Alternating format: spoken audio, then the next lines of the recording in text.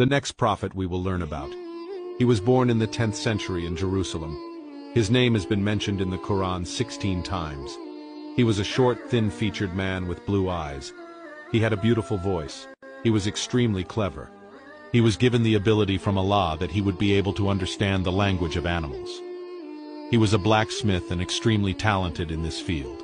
He could melt steel with his hands to make armor. He slept very little because he spent his nights praying to Allah.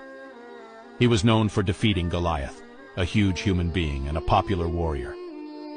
He became the king of Jerusalem.